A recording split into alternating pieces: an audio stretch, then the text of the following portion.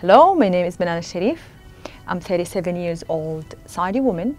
I'm information security consultant, a mother of two boys, and I'm a minor. In my country, Saudi Arabia, whenever you ever you put the word woman and Saudi, you will always end up with the word minor because we have male guardian all our life from the time we're born to the time where we die. Male guardian mean that I need a permission, no matter what my age is, to go to college, to work, to get my ID, to leave the country. I had to ask my father to give me permission to be here today, uh, to film this, and uh, to do anything actually in my life, to even to get married.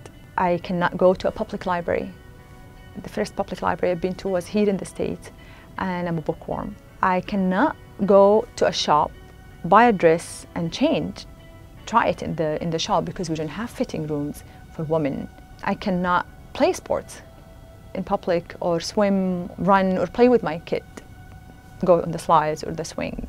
It's forbidden. My message to all people there, not women only, is أول الغيث قطرة and that means the rain starts with a single drop.